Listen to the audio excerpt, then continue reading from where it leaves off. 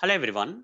Welcome to session 52 of Software Testing Made Easy course.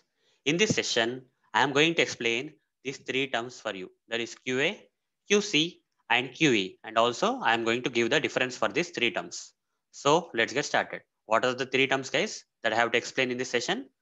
First one is QA. Second one is QC. Third one is QE. So what is the full form of QA? Full form of QA is quality assurance. The full form of QC is quality control. The full form of QE is quality engineer. So now you know the full form of these three terms. So, but what exactly is quality assurance? What exactly is quality control? What exactly is quality engineer? And what is the difference between this uh, quality assurance, quality control, and quality engineer? Let me explain all this in this session itself. Now, so coming to the quality assurance, guys, they define the testing process. They define the testing process. They will not perform testing, guys. QA people only define the testing process. They won't do. They won't do testing they don't won't do actual testing. But coming to the quality control guys, they perform the actual testing. Okay, what do you mean by actual testing? It's like uh, actual testing is nothing but executing the test cases. As software testers, we generally execute the test cases, right?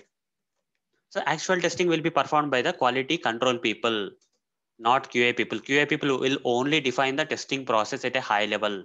Here quality control will do the quality control people will do the actual testing where they will be executing the test cases, they will be reporting the defects, okay? Reporting the defects, they will perform testing with or without test cases, etc. etc. Fine. So actual testing is done by the quality control, whereas quality assurance will only define the testing process at a high level, like uh, what kind of uh, templates, okay? What templates we have to use for creating the test plans, test cases, and any other release documents or whatever it is, okay? uh, release reports or whatever it is. So they define the process, guys. Okay, they are worried about the process only. They create the templates.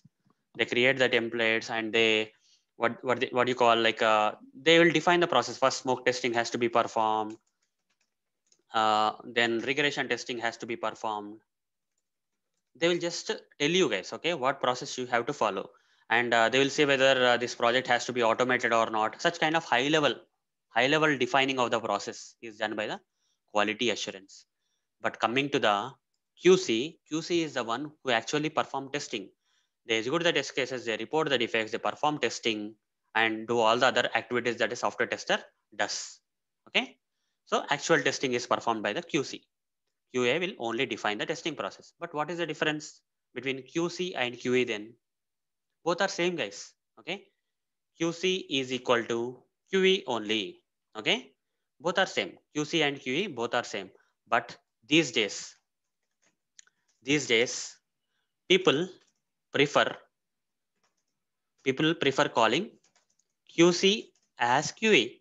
why? Why so? Why people are preferring to call qc as QA these days? Because guys earlier days okay earlier days the qc people used to only perform testing in a manual way. But nowadays guys almost all people almost all people are doing the automation also okay they have some proper coding skills also. So over a period of time what happened is uh, people tend to call qc as qa because now we also have some coding knowledge. As software testers we not only do manual things manually test the application we also write the coding. Okay automation code we write guys. That's why people prefer calling qc as qa these days. Okay this is a qc was the old term you can say.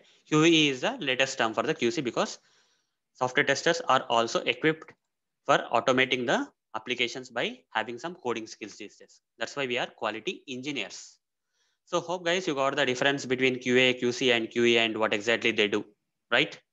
QA will define the testing process, QC will do the actual testing, QC and QE will do the actual testing guys. Okay, both QC and QE will do the actual testing. They both are same, but only thing is these days people prefer calling QC as QA because the software testers are having the coding skills these days.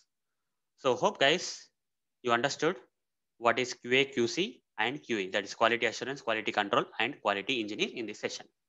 So that's it guys. Thank you. Bye.